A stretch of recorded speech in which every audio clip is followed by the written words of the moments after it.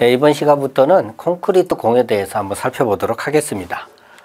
어, 이번에 콘크리트 공 첫 번째 시간이잖아요. 그러면 이제 콘크리트의 예, 전반적인 사항 그리고 콘크리트를 구성하고 있는 재료들의 성격 뭐 이런 것들 기본적인 것들을 오늘 이 시간에 좀 살펴보도록 하겠습니다. 예, 콘크리트는요 어, 시멘트하고 물 그 다음에 장고재 굵은 골재 뭐 이런 것들로 구성이 됩니다.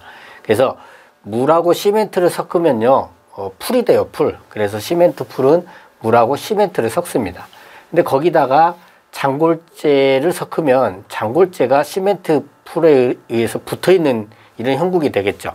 이건 모르타르입니다. 근데 이제 굵은 골재까지 집어넣어서 굵은 골재와 잔골재가 뒤섞여서 시멘트 풀에 붙어있는 이런 형태가 이제 콘크리트가 된 겁니다. 그래서 뭐 굵은 골재가 하나하나가 뭐 얼마나 큰 힘을 발휘를 하겠습니까마는 시멘트 풀로서 이 굵은 골재와 장골재를 다 붙여놓으니까 이것들이 한꺼번에 저항을 하잖아요. 그러다 보니까 상당히 이제 강한 예, 그런 구조물이 되는 거죠. 그러면 여기서 이 콘크리트 품질에 가장 큰 영향을 끼치는 건 어떤 걸까요? 굵은 골재, 장골재 그 하나하나가 뭐 큰 영향을 끼치지는 않잖아요. 이것들이 잘 뭉치게 해주는 거. 이게 뭐예요? 시멘트 풀이 가장 큰 그 영향을 끼치죠. 그래서 물과 시멘트를 얼만큼 넣어서 배합을 얼마나 하느냐가 중요하기 때문에 물 시멘트 비라는 게 있거든요. 그 물 시멘트 비가 콘크리트의 품질에 가장 큰 영향을 끼친다. 이렇게 말씀드릴 수가 있고 그 다음에 이제 혼합을 하다 보니까 공기가 안에 섞여 들어가요. 공기. 그래서 공기는 항상 같이 있는데 이 비중을 보면 공기가 한 5%, 물이 15%, 시멘트가 약 10%, 그다음 골재가 한 70% 비중을 차지하고 있습니다. 자, 시멘트, 그죠? 시멘트인데 그 재료들 중에 시멘트를 먼저 보겠는데 이거는 이제 포틀랜드 시멘트를 제조하는 과정이에요. 근데 이걸 우리가 다 알 필요는 없어요. 아무튼 간에 뭐 석회석이나 점타 그 밖에 원료를 혼합해서 소성해 가지고 분해하고 시멘트를 만들어 내는데 여기다 이제 석고를 첨부하는 이유가 있어요. 그건 뭐냐면은 이 과정에서 어, 석고는 시멘트가 굳어져 버리면 안 되거든요. 그래서 시멘트가 좀 천천히 굳을 수 있도록 물을 만났을 때 천천히 굳을 수 있도록 하는 그런 역할을 좀 합니다. 그래서 석고를 이렇게 첨부해서 어, 시멘트를 만들어낸다 이렇게 보시면 될 것 같고요. 어, 시멘트는요, 어떤 성질이 있냐면, 물을 만나잖아요. 시멘트가 물을 만나면 화학 반응을 일으켜요. 그거를 수화 반응이라고 해요. 물을 만나서 화학 반응을 일으킨다. 수화 반응. 그러면 수화 반응을 일으키면 굳어져 가요. 그 굳어져 가는 거를 응결 경화라고 합니다. 응결 경화. 그렇죠. 그래서 기억하시고. 근데 이 과정에서 수화 반응을 하는 과정에서 수화 발열이 일어납니다. 그러니까 수화열이 일어나요. 그러니까 빨리빨리 굳어져 가면 수화열이 크게 일어나고 천천히 굳어져 가면 수화열은 조금 적게 일어나겠죠. 그래서 방금 말씀드린 것과 같이 어, 수화열은 시멘트의 수화 반응으로 응결 경화하는 과정 중에 예, 재련까지 발생한 열량의 합계다 이렇게 했어요. 그러면 수화열이 큰 시멘트는요 한중 공사에는 좋아요. 그러니까 추운 곳에서 하는 공사에서는 열이 커도 큰 문제가 안 돼요. 근데 매스브한 콘크리트, 큰 덩치의 콘크리트는요, 하도 덩치가 크다 보니까 그 열에 대한 문제가 굉장히 많거든요. 온, 온도 균열이라든지 문제가 많은데 거기에다가 수화열이 큰 시멘트를 써버리면 정말 큰일이 나겠죠. 그죠? 네, 그런 특징이 좀 있습니다. 자, 방금 응, 굳어져 가는 걸 응결 경화라고 제가 표현을 했잖아요.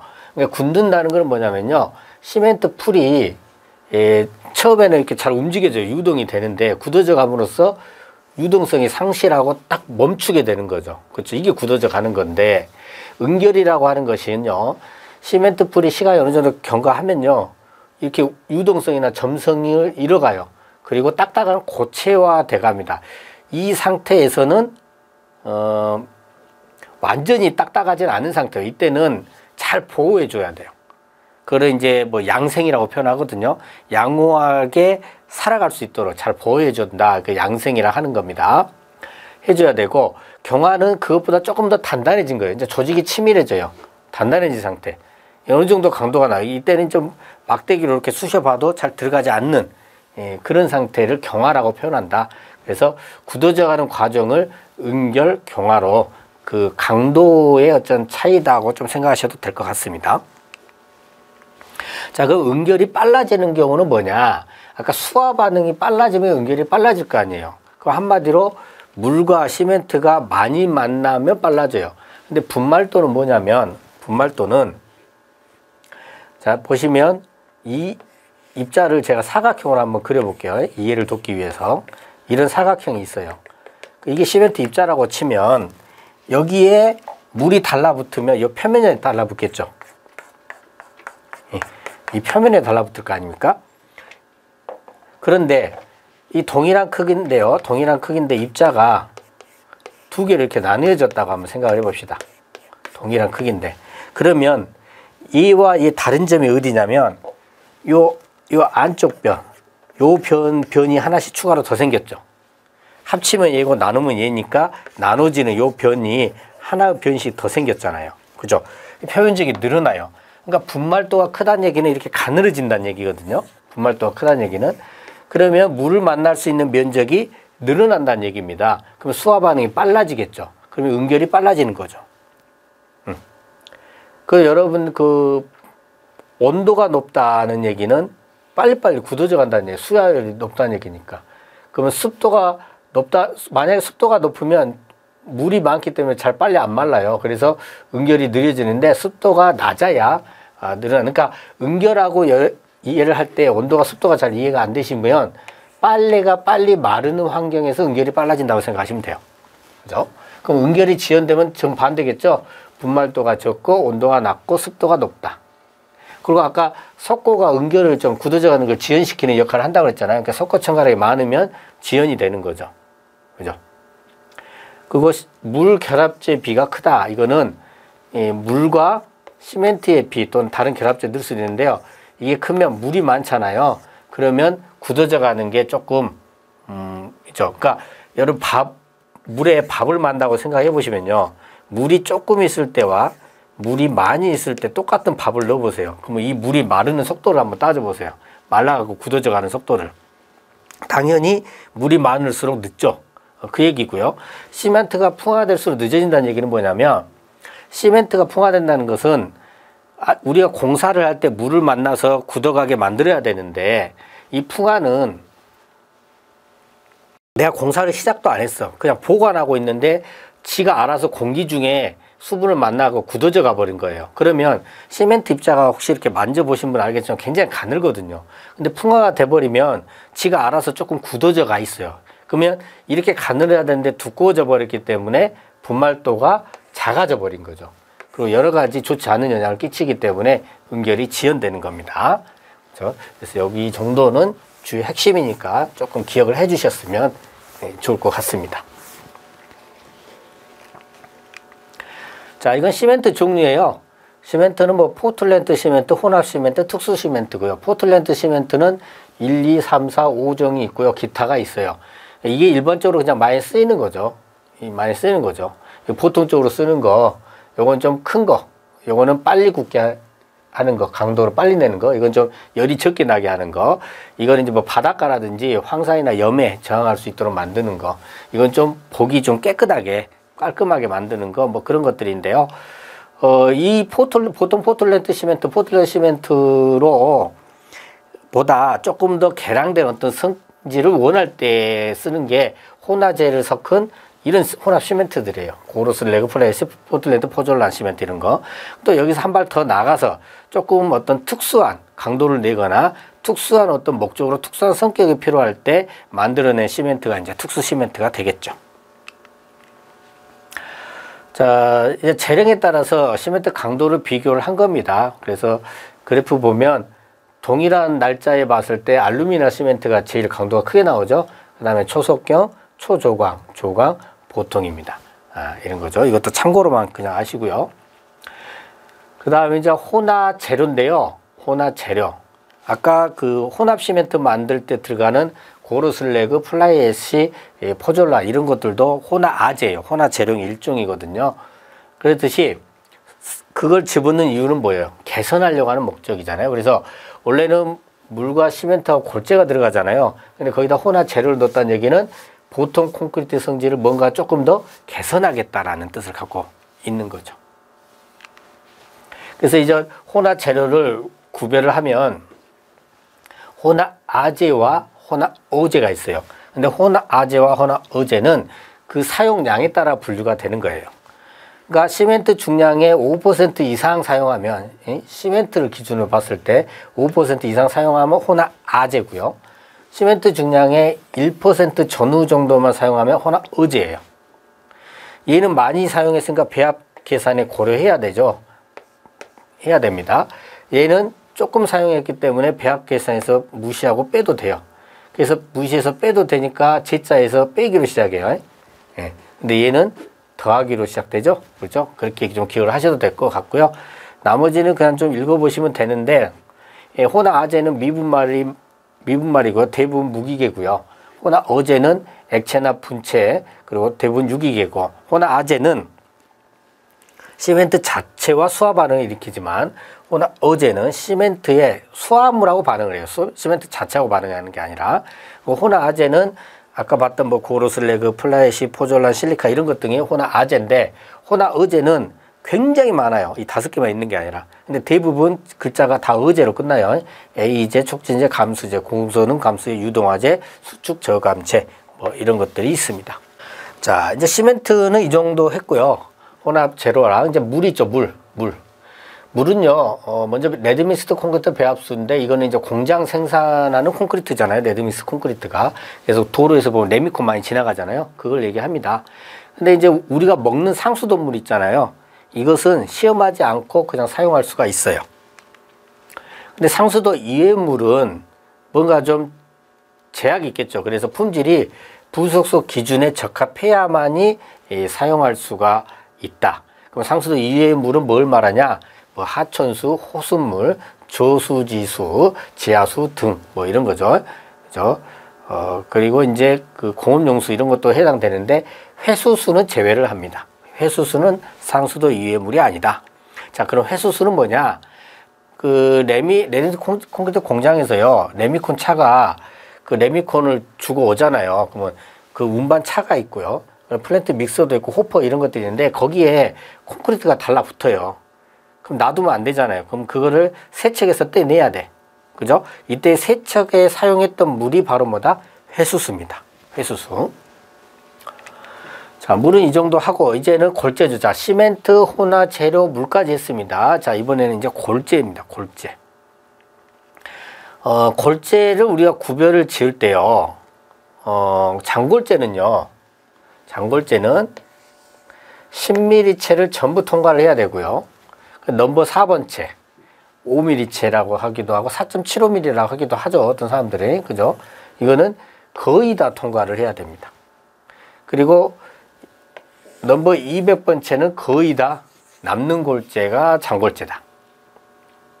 그 굵은 골재는 장골재가 넘버 4번째 5mm체를 거의 다 통과해 했잖아요. 그럼 반대로 굵은 골재는 5mm 넘버 4번째를 거의 다 남아야 되는 겁니다. 자, 이거 기억을 잘 하셔야 됩니다. 기준점. 물론 이제 뒤에서 다른 거 계산할 때 좀 더 살펴볼 수 있습니다만은 잘 기억하시고요. 자, 비중에 의해서는 경량골재다, 보통골재다, 중량골재다 나눌 수 있고요. 생산 방법에 따라서 천연적인 골재다, 인공으로 만든 골재다 이렇게 나눌 수가 있겠죠. 자, 골재 일반적 성질인데요. 골재의 입자는 둥근 것 또는 정육면체에 가까운 것이 좋아요. 어, 그래서 이제 우리가 레미콘을 탓을 하게 되면, 콘크리트 탓을 하게 되면, 콘크리트가 그, 뭐, 우리가 여, 러 가지 모양의 구조물을 만들어 내잖아요. 그러면 그 사이사이 구석구석 잘 흘러가야 되잖아요. 그래서 입자가 잘 굴러다녀야 돼요. 그래서 둥근 거나 정육면체에 가까운 것이 좋습니다. 골재는. 여기 콘크리트용 골재는 그렇습니다. 그리고 골재, 입도는 골재의 굵은 알과 잘, 알이 잘 섞여 있는 정도가 좋다. 이거는 그때 예전에 그 토질력학에서도 배우셨잖아요. 이게 입자가 큰 것만 있을 때는 한 개의 간극이 크고 작은 것만 있을 때는 한 개의 간극은 작지만 전체 간극이 크다. 그래서 큰 것과 중간 것, 작은 것들이 골고루 섞여 있으면 공국이 전체적으로 작아지고 하나의 크기도 작아져서 좋다. 이렇게 했죠. 그래서 입도는 동일합니다. 그거랑. 근데 입자는 흙은 흙들끼리 잘 뭉쳐 있어야 되기 때문에 모난 것이 좋았지만 여기서는 작업을 하게 잘 굴러다녀야 되기 때문에 둥근 것이 좋다. 이 차이가 있는 겁니다. 그래서 입도가 좋다는 것은 아까 골고루 잘 섞여기 때문에 간극이 작다는 얘기죠. 그리고 간극이 작으니까 강해요. 강도가 크다는 얘기입니다. 그리고 그 간극이 크면 아무래도 시멘트 풀에 그 시멘트가 그 간극 사이를 많이 차지 할 거 아니에요. 그럼 시멘트가 많이 사용되는데 입도가 좋으면 간극이 적기 때문에 그 간극에 들어가는 시멘트 량도 줄어들겠죠. 그러니까 시멘트 자체가 전략이 될 겁니다. 그죠? 그러니까 입도가 나쁘다. 그럼 얘랑 전 반대겠죠. 강도도 작고요. 예? 입도가 나쁘면 그 재료가 빈 공간들이 많잖아요. 간극이 많다 보니까 그 끈끈한 약함이 적어요. 그래서 떨어져 나가버리는 재료 분리가 클 확률이 있고요. 당연히 workability도 좋지 않습니다. 작업하기가 좋지 않다 그 말이에요. 입도가 나쁘면 workability는 작업성입니다. 작업성. 자, 그 다음에 이제 굵은 골재 최대 치수는 뭐냐 했을 때 우리가 체로 실험을 했을 때 몇 번째에 어, 얼만큼 통과를 했는지 이걸 다 측정을 해볼 거 아니에요. 그러면 100이라는 시로 중에서 뭐 조금 더 굵은 채는 뭐 95%가 통과해 버리고 그 밑에 끝에는 또 뭐 92%가 통과하고 또 밑에 거는 89%가 통과했다. 그러면 이 90% 이상 통과한 채가 위에 두 개였어요. 95%, 92%. 이때는 90% 이상 되는 채 중에서 작은 치수 눈금, 그 눈금을 굵은 골재 최대 치수로 하겠다. 아, 그, 그런 내용입니다. 그래서 그런갑다 하고 의미는 우리가 알고 있어야 되겠죠. 그러면 이제 굵은 골재 최대 치수는 왜 따지느냐 하는 거예요. 우리가 이제 굵은 골재 최대 치수가 크면요. 예, 경제적인 콘크리트를 얻을 수가 있어요. 그렇기 때문에 굵은 골재 최대 치수를 따져본 겁니다. 그렇지만은 그럼에도 불구하고 그러면 한없이 키울 수 있느냐?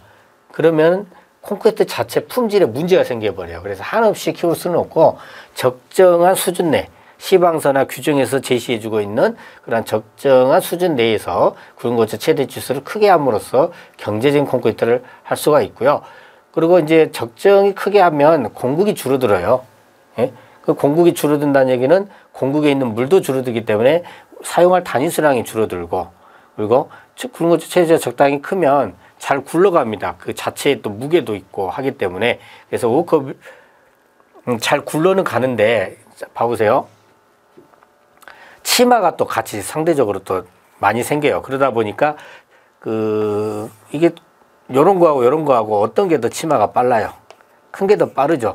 그래서 굵은 것의 최대 치수가 크다는 얘기는 큰 것들이 좀 많다는 얘기거든요. 그러면 재료 분리가 빨리빨리 증대가 됩니다. 예.